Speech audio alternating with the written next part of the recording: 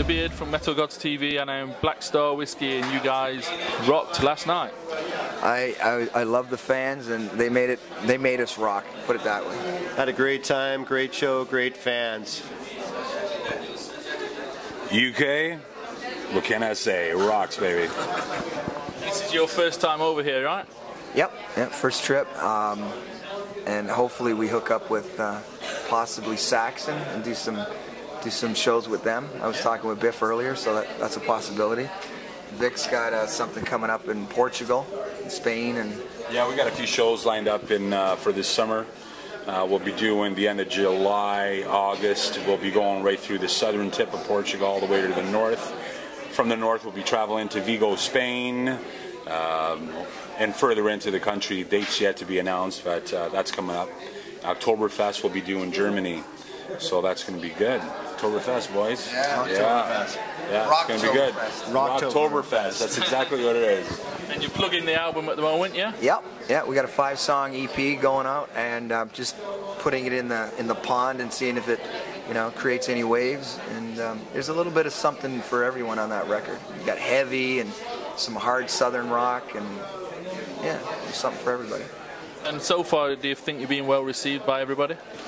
Uh, yeah, everybody's been really nice to us. Uh, the, we had really good crowd response last night. Phenomenal. I dumped a whole bottle of Jack Daniels in everybody's mouth Yeah, right off the bat, and uh, that that won them over. yeah. Know, UK warmed fans. them up, so to speak.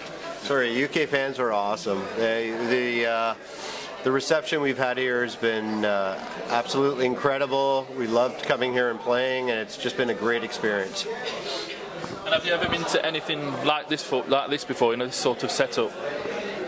Not with this band. No, no, no. This is uh, this is really cool. Poor, um, I heard um, Scotty Hill from Skid Row Yeah. slipped off the stage and broke some ribs last night. All right, I missed that. All right. he actually lives close to me in Florida.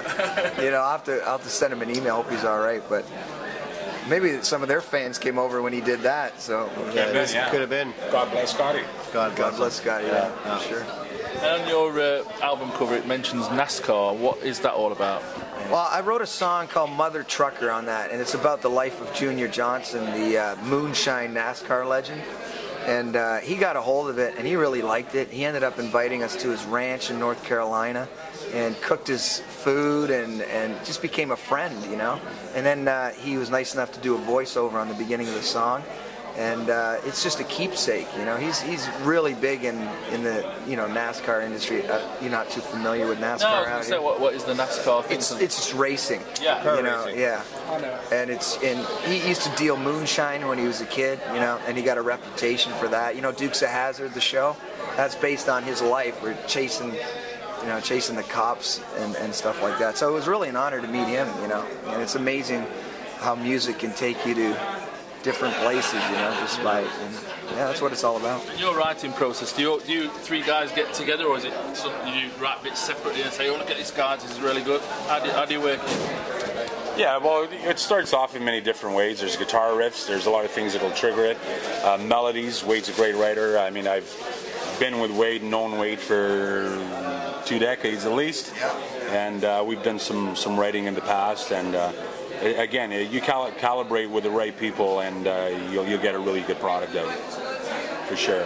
This, this particular record I co-wrote with another guy, and how we did it was he recorded everything, all the music in his studio, and I shi he shipped it to me over the internet, and I recorded my vocals in my studio, and then we mixed it after that. So it's, it's, it's amazing how you can do stuff over the internet like that, you know, and, and come up with a solid product.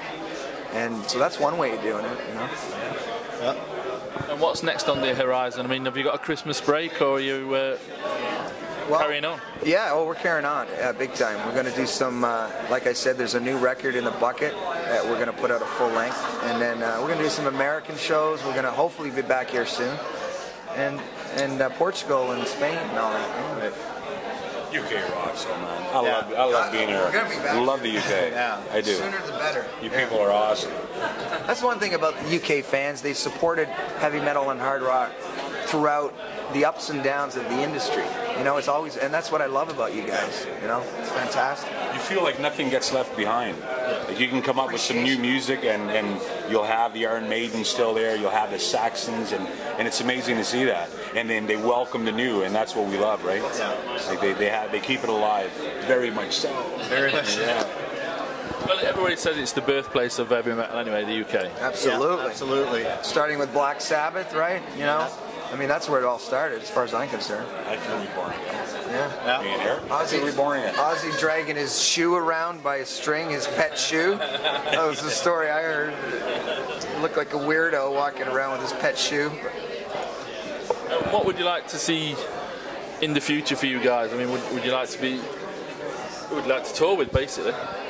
Ah, I, I'd love to tour with like any, you know, Saxon, uh, Godsmack, you know, bands that just have that attitude and, and just good, solid, you know, rock and roll. You know, I, I, I just like aggression. I like attitude bands that, that, you know, lay it down. So anyone like that, I love to tour with. Yeah, Absolutely. definitely. Have you guys got any interests outside of metal? No, I'm not doing no uh, crossover country Hootie and the Blowfish.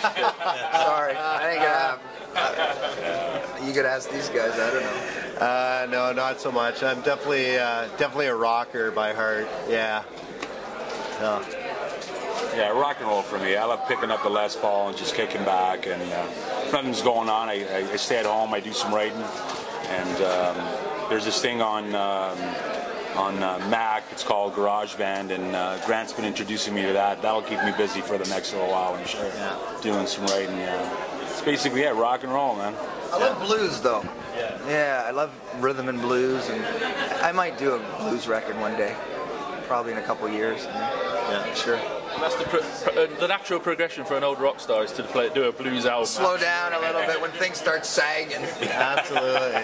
Guitar gets a little lower. The fingers get. But you know, I mean, you look at a band like uh, Lemmy from Motorhead, right? Yeah. And that's that's hard-driven uh, rhythm and blues. That's heavy metal rhythm and blues. Yeah. And, and I love that. You know, I love the tour with Motorhead too. By the way, put Yeah. that out there. Yeah, oh yeah, there you go. Well, I mean, Gar- Gary Moore sort of went away from the metal scene and went into the blues scene in his late later career. Right? Yes. Yeah. Absolutely. I spoke to him yesterday. Um, Vinnie Moore, you're talking about, yes? No, Gary Moore. Oh, Gary Moore. I thought I heard Vinnie Moore. Vinnie Moore is from UFO, and and he, he's a great guitar player. I spoke to him yesterday and uh, had a few things. We're going to exchange some emails and see what comes up with that. Yeah, great, great fella. Like, I mean, he's.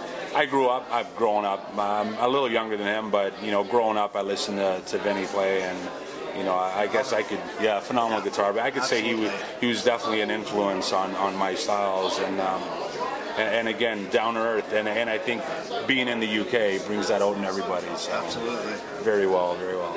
Yeah. Have you guys come, ever uh, come across any of your heroes while you've been touring? You think, oh God, I finally met him. You know? I have. Yeah. Yeah, yeah. Vince Neil was actually, a, you know, ever since a kid, you know, he growing up, the image and everything, it was like, wow, you know. But when I met him, I have to say I was a little bit disappointed, you know.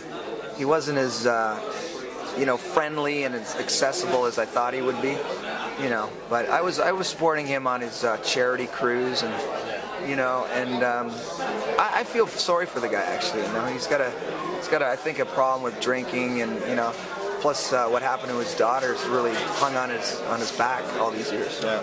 I wish him the best. I uh, met a couple of the guys from uh, Canadian band Rush. Great, great guys. Yeah, Geddy Lee and Alex Lifeson shared an elevator with them one day. So, uh, and it was a nice slow ride to a very tall floor, so it was very good. Very humble guys. Very good. Nice guys, so. And have you got a final message that you'd like to give to the UK audience out there? Well, we're going to be back, and, and we appreciate you as much as you appreciate all new rock and roll and heavy metal. So, just so you know. Yeah, thank you for the opportunity Very of much having us here. it. Peace, been love, and wonderful. unity. Black Star Whiskey coming at you 2011. Thank right. you, my friend. Thank you, Mick. It's been a pleasure.